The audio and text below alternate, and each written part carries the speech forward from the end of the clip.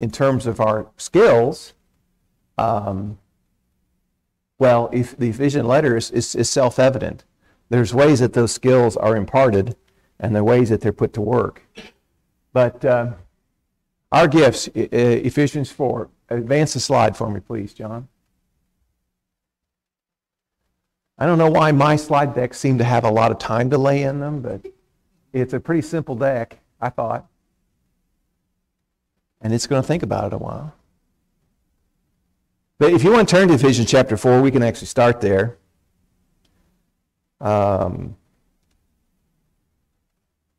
Andrew had the reading for us, and I want to go back and visit um, that the, the, the context here talks about us being worthy of the calling, talks about the uh, idea of preserving or being diligent to preserve the unity of the Spirit and the bond of peace. This comes from the fact that there is just one God, that there is just one body. There's just one faith, there is one baptism, there's one originator from whom all gifts issue to each according to his calling. Not according to his ability, not according to his motivation, but according to his calling. Now, the calling, I, have given lessons on this idea of the calling. And that is, in reference, in my mind at least, to the idea that God had a plan for all of us that was established before the foundations of the earth. And our calling is to fulfill that plan. It's not a measure of our own strength and ability, but it's according to God's genera- generos- generosity, that word will come out, who gives liberally to all. God the Father, verse 6, who is over all and through all and in all but to each one of us, grace was given according to the measure of Christ's gift.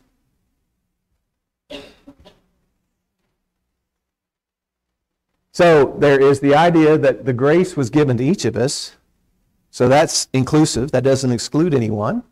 That's all of us. And there's the idea of, in verse 7, according to the measure of Christ's gift. So, what's the measure of Christ's gift? And that's when Paul, in the letter to the Ephesians, launches into, or refers back to, I should say at least, a reference in Psalms chapter 68. He says in Ephesians 4, Therefore it says, When he ascended on high, he led captive a host of captives, and he gave gifts to men. Let's jump over to uh, 1 Peter 4, real quick, before we go look at that text.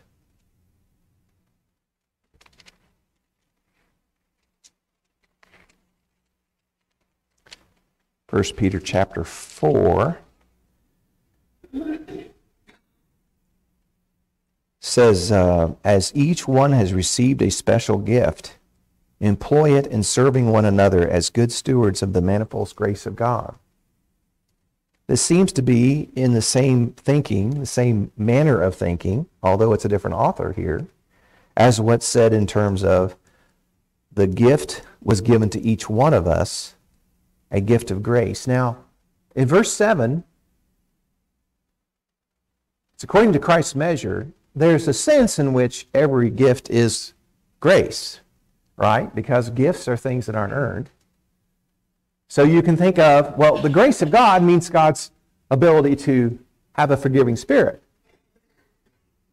When, God's, when God issues grace, it is unmerited favor. So that can take a lot of forms. But in every respect, every gift, whether it's us giving a gift or us receiving a gift, every earthly gift is also a gift of grace. Otherwise, it wouldn't be a gift. It would be by compensation or something that's been earned or something that's due. And there's other passages that, that go into that conversation. But a gift is that which has not been worked for. A gift is that which is not earned. Let's jump back to uh, Psalms now.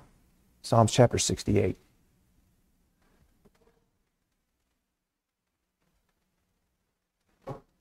That idea of giving gifts to men is, uh, in the context here, Psalms chapter 68. I don't know any I don't know any better way to do this than to just start laying out the picture here that's painted.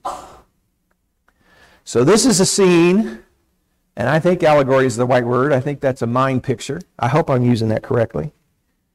And it's a mind picture that, that David paints. I have to think this psalm is written at some point in David's life when things have calmed down a little bit. And by that I mean, I suspect he's probably king of Israel when he puts this to, to paper. But let's remember some of King David's history a little bit. King David was, uh, before he was king, was uh, an adversary to the king of Israel. Saul sought to take his life. David was pursued. He was uh, chased from village to village, town to town, across the wilderness. He was pursued because of the jealousy of the king. Jealousy used the strength of Israel's own armies to pursue and persecute the one whom the people sang, Well, Saul has killed his thousands, but David, our champion, that's a parathenical phrase. David, the champion, he's killed ten thousands. He was a darling because of his prowess on the battlefield. And as one who was pursued, the fighting didn't stop. David had men with him that were trusted, loyal soldiers who had joined in his fight against the king. It was, it was an unrighteous persecution of this warrior, of this one who was devoted to God and devoted to the betterment of the kingdom of Israel. And there were many men that would swear allegiance to him rather than to Saul because they acknowledged that, that fervor on David's part to serve God, to pursue God's enemies, to destroy God's enemies, and to bring all the nations surrounding Israel into subjection to the one true Israel that God had established. Now, you think about the, the character of people that would say, We got a sworn king. In fact, Jehovah God, through his prophet, hand anointed this king. But I'm going to give my allegiance to another. And that takes a little bit of moxie, might be the right word. That takes some guts to do that. So this band is out there. This, this, these traveling soldiers are surrounding David, providing protection, helping him in the wilderness, helping him defend himself against the armies of Saul. They do so out of loyalty. They do so out of trust in the one that's leading them. David knows what it is to be a warrior. And he knows what it is to be a champion. And he writes this psalm. And he writes this psalm, and in this psalm you get you get a flavor of the relationship between the the, the warrior king that's referenced here and his subjects. And a couple examples of that I think it's, I forgot where it is. I think it's all the way down to verse 18 before there's a reference to that which was repeated in Ephesians. But as you look at Psalm 68, you get verse 1 Let God arise, let his enemies be scattered, and let those who hate him flee before him. As smoke is driven away, so drive them away. As wax melts before the fire, so let the wicked perish before God. But let the righteous be glad let them exalt before God. Yes, let them rejoice with gladness. Sing to God, sing praises to his name, cast up a highway for him who rides through the deserts, whose name is the Lord, and exalt before him. So you have this warrior It's God. It's Jehovah. But he's put in the he's put in this allegory as one who is a desert fighter. Because his followers say, rise up a highway through the desert. They're making a way, making a, a path of success for this warrior king who's a desert fighter. He is cunning. He looks out for his men. Remember how David defended his men that were loyal to him? How he stood up against those. My men need water for their animals. We need some food. He secured that for his men. We find shelter. We need places to hide. We need places to encamp. We need to ensure that our men are equipped. We need to make sure they're ready for battle. We need to make sure they have a heart to fight. That's the kind of warrior, soon to be king, that David was. And here God is in that same allegorical picture. So it's, it's very easy to insert David in here as he's using the model of how he lived in the desert as one who fought righteously before his anointment, as one who fought valiantly and fought with his men and for his men while he led them. Verse 5 A father of the fatherless and a judge for the widows is God in his holy habitation. God makes a home for the lonely. He leads out the prisoners into prosperity. Only the rebellious dwell in a parched land. Obedience to this God means there's a home, there's a habitation, and there's provision for those who need to prosper. You know, some of the guys that were with David may have had nothing in their hearts but a trust for David as a, as a warrior. They had, they had fought with him. They knew what kind of character he was. Some of them maybe not so pure heart. They may have not had, they may have had other issues as to why they separated their allegiance from King Saul to join David's group. It may have even been subconsciously.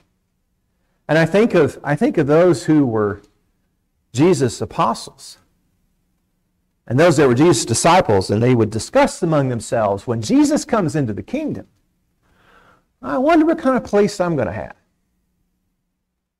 Am I going to be at the right hand or not? What kind of, what kind of power am I going to wield? Because I fought with Jesus and show myself faithful to him while he established his kingdom. Now, they were thinking on earth, of course, when they had that mind. But I think of, they squabbled amongst themselves who's going to be greatest in the kingdom that Jesus is going to establish. And I have to wonder if there weren't men in David's camp that did the same thing. Because this king rewards those who are faithful to him. Verse 7 O God, when thou didst go before thy people, when thou didst march through the wilderness, the earth quaked. The heavens also dropped rain at the presence of God. Sinai itself quaked at the presence of God, the God of Israel. Thou didst shed abroad a plentiful rain, O God. Thou didst confirm thine inheritance when it was parched. The creatures settled in it. Rain's coming. It's, it's dry ground right now. But the rains are coming. And there's going to be bounty. There's going to be plenty. And you're going to be part of it because you're part of me. That's the promise that this warrior king is making to his loyal subjects. Okay? Skip over to verse 19.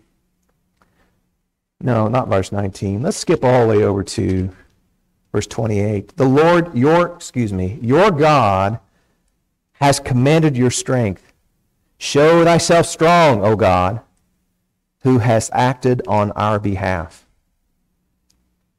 Verse 35. O God, thou art awesome from the sanctuary. The God of Israel itself, the God of Israel himself, gives strength and power to the people. Blessed be God. Now, do you, you have this mind picture now of Psalm 68? Do you see what's going on in terms of the relationship between those fighting men who were loyal subjects to God in his desert campaign that's described here? Does it ring a bell historically? Do you see the connection that David's trying to make? And what is it what does then the psalmist letter say in verse 18? Thou hast ascended on high. Thou hast led captive thy captives. I've received gifts among men. Now, this is New American Standard. It, it translates received gifts among men. Uh, New American Standard, Andrew reading out the English Standard Version, also reads in the New Covenant, gives gifts to men. And I don't think that's a conflict. Gifts were received among men at the direction of the Lord. What kind of gifts? Gifts are grace. Gifts aren't earned. They're not they're not compensation, they're not pay. They're not something we can claim. I can't put a lien on it. I don't have any legal right because it's a gift. Okay?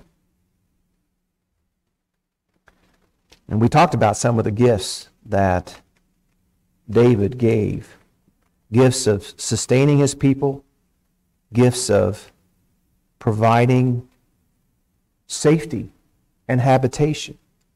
A whole range of things that were both promises being fulfilled by those warriors, as well as things that were just completely outside of their control because they were the hands of one they trusted.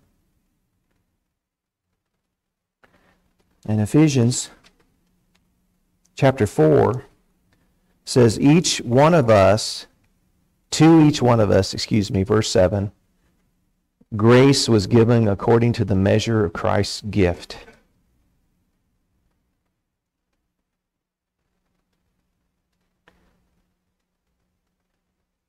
First Peter 4 said those gifts were uh, just as each one had received a gift it was, it was to be used in serving others, as to be good stewards of the varied grace of God. Going back to 1 Peter 4, I'm probably nowhere close to my slide deck. You can give that a spin. Uh, you can pass that one. You can pass that. Oh, let's let's go back. I'm sorry. Let's stay here. All right.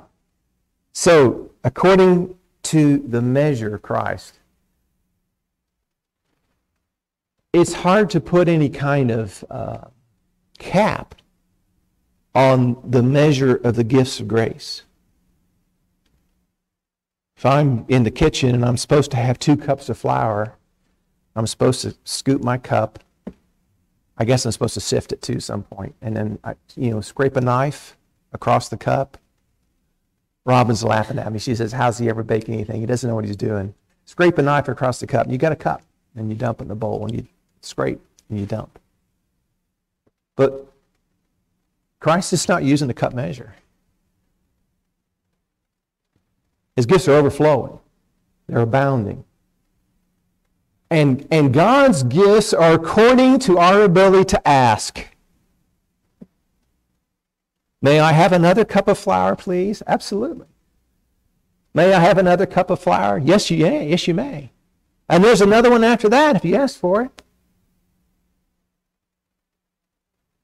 This warrior king, Jehovah, had the trust of his men, but he also had put his trust in his men to be faithful.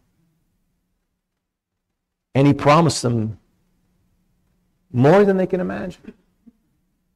Our prayers are to ask for things above our ability to imagine God's ability to fulfill. We're encouraged to pray that way. Now, why would we be encouraged to pray like that if it wasn't true? That'd be a mockery, wouldn't it? It'd be a cruel joke, and it's not a funny one. To be encouraged to pray beyond what we can imagine, that tells me God intends to fulfill promises like that, prayers like that.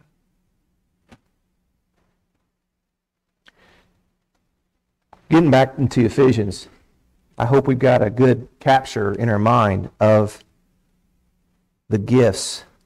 I know, uh, I know Jeff and I we were discussing this briefly. He talked. He really keyed in on one piece I haven't mentioned. He led captive a host of captives. Like I said, some of these guys following David probably probably had a past. A couple of them did. They may have been enslaved. They may have been runaways, even. They might have had some beef with the king of Israel, the, the appointed king, the anointed king. And they were more than happy to see a change in headship.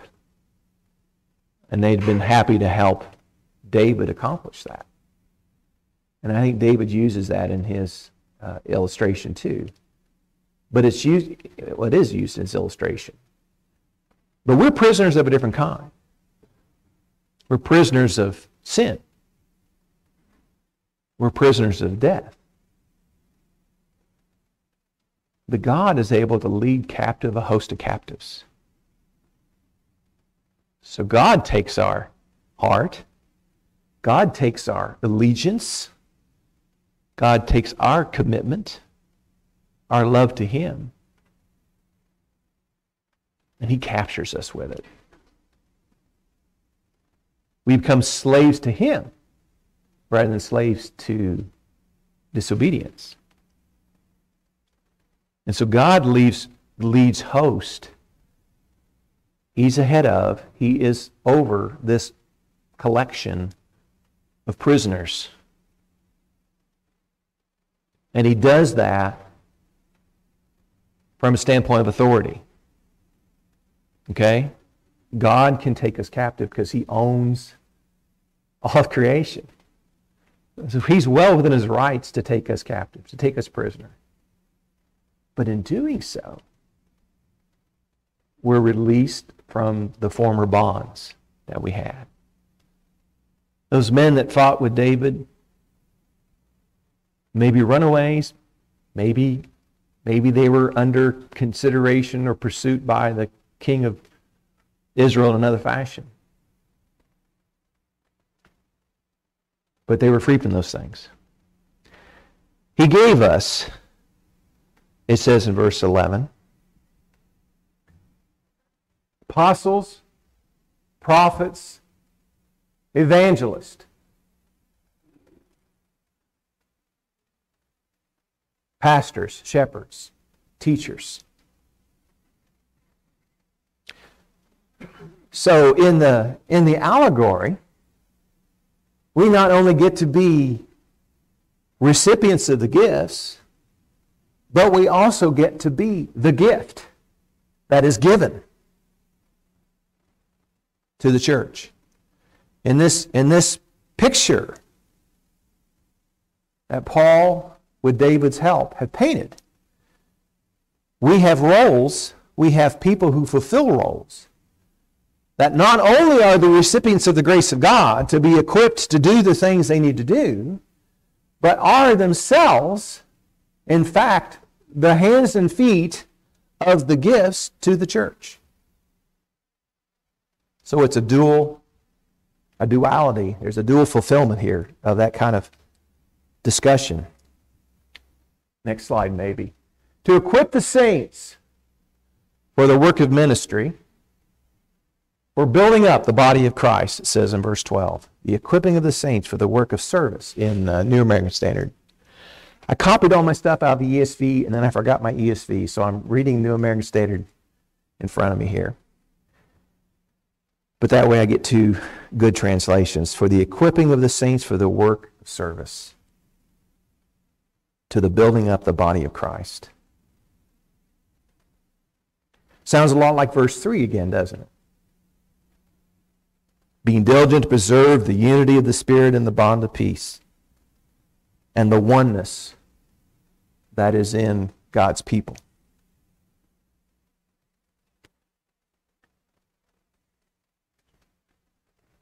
Until we all attain to the unity of the faith and of the knowledge of the Son of God to mature manhood, to the measure of the stature of the fullness of Christ. I have to break that verse down a little bit. The, the measure of the stature of the fullness of Christ. That's what we're working to attain. And we're not going to get there based upon our own strength, our own abilities, our own ideas. And that's why we need the gifts of God. Because I am, I am not equipped to be a mature leader in the church of God's people. I'm not. I've been gifted to do that work. But I need so much help in doing that because it's not of me.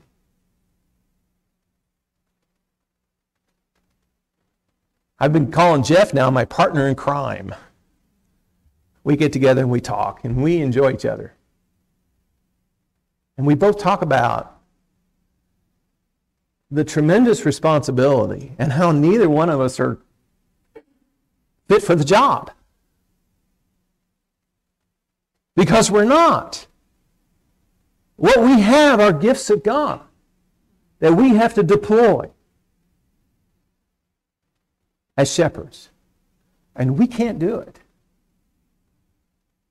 We can't do it without you doing your thing. It doesn't work. And we're limited by our own weakness, by our own human judgment, by our own distractions, our own growing weariness. We need to recoup. We need to rest. We need to be restored in the work. And we don't do that without you. But we are the gifts, and we are to be used for the equipping of the saints for the work of service. Until when? When do we quit? When do we get that, that booty that was back in Psalms? God gave gifts to men. This wasn't just randomness. The power of God is evident in Psalm 68. But who was God giving gifts to? Was those that had fought his battles with him. Those that had been by his side in the warfare of righteousness. And God, or that warrior king, or that allegory, however you want to look at that, it's about, you know, we're hiding in a cave right now. Looking a little bleak, isn't it? There's a death sentence on my head, and yours too by association, because you don't think if they didn't kill David, they weren't going to wipe out that whole band. Don't fool yourself. These men all knew, they all knew that if their leader was to be captured and, and killed, they were going to be killed too. There was no, not going to be, ah, oh, just get back into the camp of Israel. We'll just overlook the fact you held an open rebellion against the king. We won't remember that. They all knew they were dead men if they weren't successful. Is that motivating? Does that make you, does that make you fight a little harder? It's supposed to. It's, the same thing is true of us. If we can't be in God's grace, and we can't receive the gifts that He gives, and we can't deploy them in the unity of peace, or I should say, the bond of unity, bond of peace. I can't say it. I'll read it. Verse 3 Be diligent to preserve the unity of the Spirit in the bond of peace. If we can't be deploying God gifts in that work, till when? Till verse 13. Until we all attain to the unity of the faith and of the knowledge of the Son of God, to a mature man, to the measure of the stature which belongs to the fullness of God, fullness of Christ. So when did David's men abandon him in the cave and said, No, I fought long enough. It just doesn't look like we're going around the corner. David, it's been a great run. I wish you the best, but I'm getting out of here. Some may have done that. They might have, I don't know. But had they done that, what would be their place? In King David's reign as king of Israel. Where do you think that would have left him? Have we attained yet to the unity of the faith and of the knowledge of the Son of God? Have we matured as a fully matured Christian to where we can say it's time to sit back, it's time to take the spoils, it's time to put ourselves at ease, it's time to be comfortable? It's time to watch other people work. I won't ask for a show of hands. But if you think you got there and you'd like to raise your hand, but you're afraid I'd yell at you if you did, just think um, as long as life's in the body, as long as there was breath, do you think David's men fought valiantly? Because they trusted in their leader. Do you think it's our responsibility also? Has, is there a unity of the body of, of Christ today? It wasn't three, four weeks ago. I had a lesson talking about the church of your choice. There's probably hundreds, if not thousands. That's just within Christianity, by the way, uh, of, of doctrines that have differences that we might identify as well, that's a separate teaching from another. We don't, don't forget, Christianity is a small percentage of the entire world in terms of those who have any kind of religious conviction. And that even in this country, religious conviction is waning before our eyes. Have we attained yet? How do we use the gifts that God has given us? Can we not put ourselves in the, in the mind that I'm, I'm fighting with my king? And my king has to be successful because my king doesn't accept anything other than victory. And my king tells all his subjects, all his warriors, you don't accept anything other than victory. So when do I get to quit? There's, there's not really an exit game here. But it, it also makes me think in terms of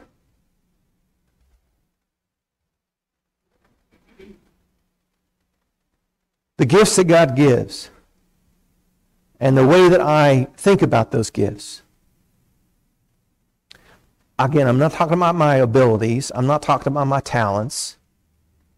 I might be able to utilize something God gives me because of some talent that I have developed over time, but that's only because God gave me the time to develop the talent. How do I think about those gifts? They're not for my leisure. They're not for my comfort.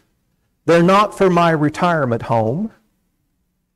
They're not for my own security at the cost of the kingdom of God. When you're sleeping in the cave, or you're not sleeping in the cave, Now, I'm going to really weird you out here. I'm going to, and when the centipedes come out of the cold, damp ground of the cave and crawl on you, and when you hear the coyotes at the mouth of the cave communicating with one another about, we think there's something to eat in this cave. Why don't you come join us? That's what coyotes do, I think. And when you haven't eaten in a day or two or three, and your water canteen's running pretty low, and that water we found in the cave was nasty. It was dank and yucky, and little blind fish were swimming around in it. When you're at that point in the cave, that's when God gifts me the most. When the promises of God mean the most.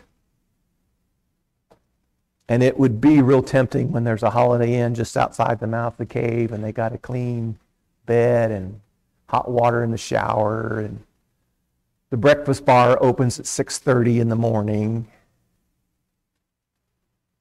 But that's that's not the attitude to take. God's gifts are not all about we're in the worst of situations. But if you can endure something like that and think, I'm just going to remain loyal to my king, even in the midst of a situation like this. I don't know that any of us have burdens that are that difficult right now. So that means, by extension, we should be able to endure them. And we should be able to look at what God has done for us. This morning, well, I, I guess I looked at the weather report and it was starting to cloud up last night. Yesterday was beautiful. And I got this idea I was going to wash my cars. And I'm not, you know, Wanda's Bob would just be mortified at how filthy my cars are.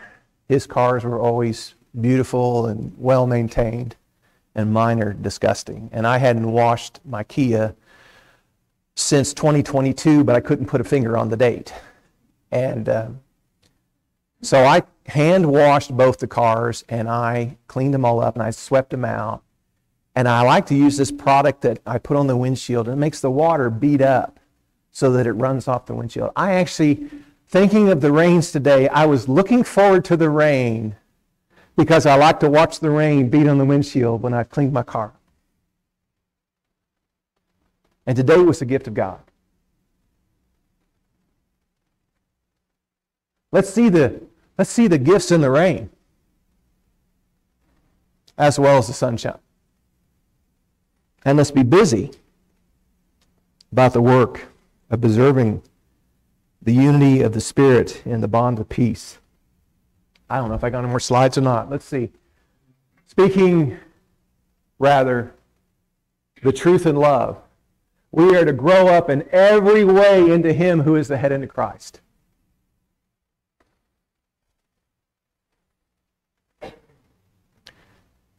I skip verse 14.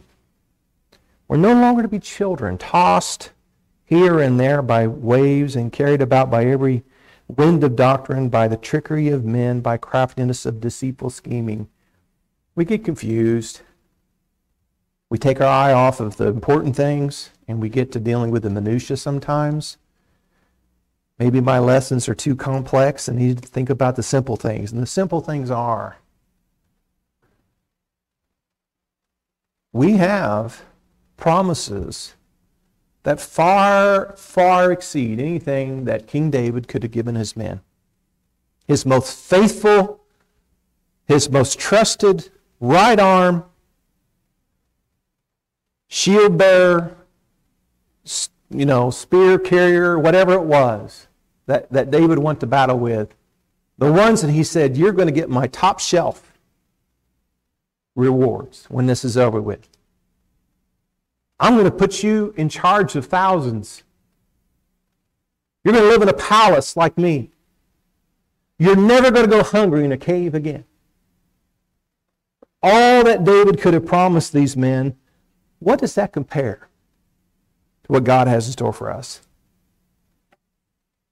Let's not be easily tossed to and fro, a lack of conviction, a lack of trust in the things that God has promised. We have each other. We have the teachers. We have the pastors. We have tools. We have gifts that we can use. And we should have lots and lots of motivation to see God's kingdom come to its full, final end. When God has saved each and every soul that He can between now and the end of this universe. And we want to be part of that. We want to be part of that. Is there another slide? I don't remember. Yes.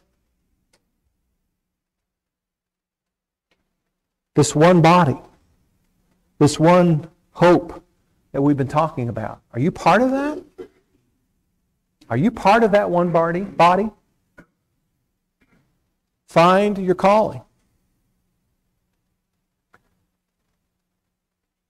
I don't know in all respects how David was able to assemble the men who were willing to die for him. Do you put posters up? Is that door to door campaign? I don't know what it looks like. But the calling has been there for us since before time. And find the gifts. God will shower gifts upon us that equip us for the work of service.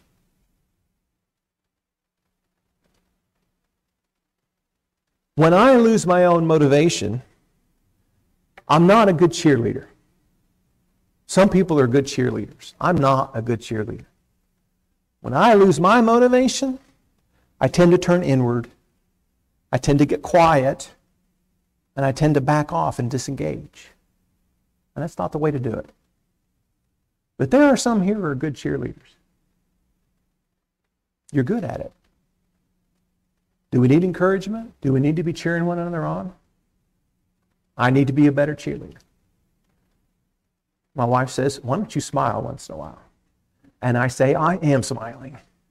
Can't you tell? I want you to join all of us with your gifts.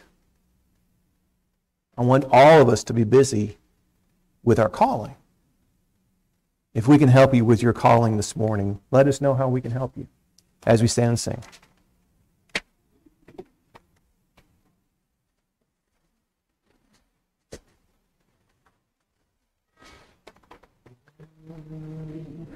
If the name of the Savior is precious to you, if his care has been constant and tender and true, if the light of his presence is born in your way, oh, will you not tell of your gladness today? Oh, will you not, tell today?